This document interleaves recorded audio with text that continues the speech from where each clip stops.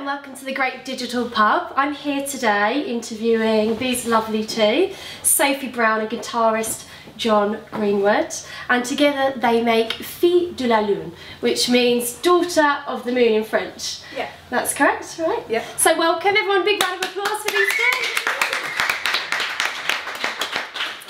So first of all, tell us a bit about your name then. Obviously it's French, but where did you get the idea for your name? Well, um, I'm half Dominican, so um, my mum's Creole, so that's where the kind of French element came in. But um, Okay. I think, well, the real reason is because I was born on a full moon. Um, I, I was premature, about a month late, and um, the moon kind of um, affects me. I get a bit strange, and I'm not the only one. I know that other people say that they go a bit weird, so that's where it came from.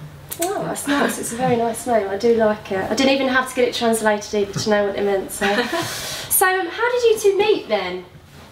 Wow. Um, we well, basically, I was looking for a guitarist, and I put an ad up online. I think, I think it was Gumtree.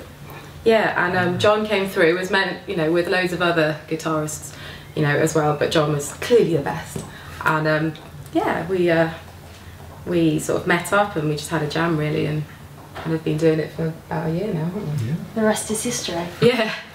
Okay, cool. So, um, I guess really like, what, who are your influences and idols? Do you two sort of bounce off one another in your ideas, or do you bring different things to the table, or how does it how does it work between you two?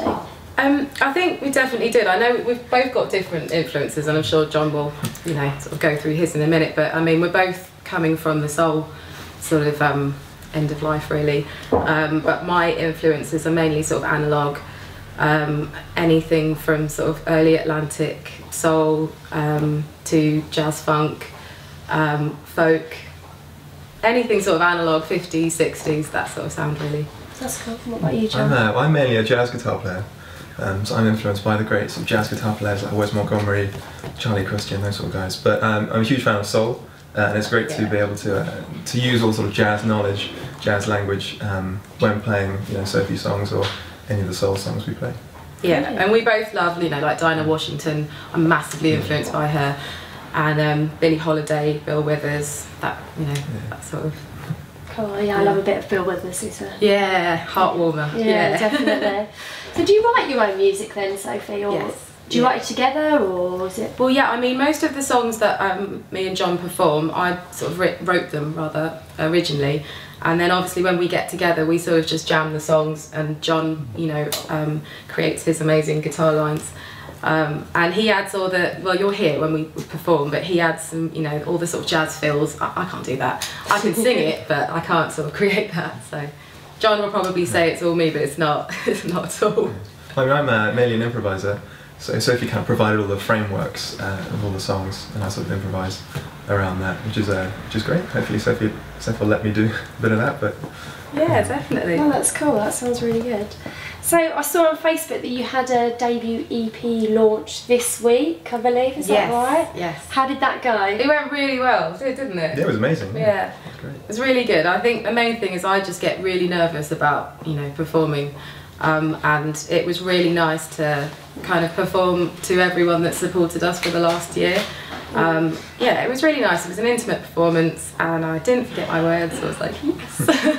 Was it a Um, good turnout as well? It was, yeah. I mean, at the end of the performance, I think it was like the song before the last, and I just looked out to the audience and I could see, you know, people were like trying to get in and it was packed. So I was just like, is this really Oh, my gig? wow. Wow. Yeah, it was good. It's nice. I don't know, maybe my sister paid people to do it, I don't know. So, I mean, obviously you guys aren't signed yet. no. So, what is the plan, the POA for 2012? Gosh, well, just to just to keep doing what we're doing, really. I think you know, with any new artist, you have to just keep getting out there um, and just do as many gigs as possible. And it's just sort of recently that we've you know we've had quite a lot of um, attention and offers for gigs, and it's been it's been really nice. I mean, ultimately. Um, I'm looking for sort of professional management because my, my sister Mel has been um, sort of managing me um, so far, and she's done an absolute great job. But she's got a full time job, and she's really like the art director for us and the sort of creative visionary. She does all of our um, videos, photography. She styles me, which is great because I would just wear jeans every time otherwise. um, So yeah, just um, a, you know an opportunity to do more gigs and to get some more exposure really. Have you got any festivals lined up or anything like that in the pipeline or? Yeah, we've got one so far. We've got Beach Break Live, um, Oh, and that's okay, in yeah, that'll cool. June, so that's going to be cool. That'd be fantastic with all the students. Yeah, definitely.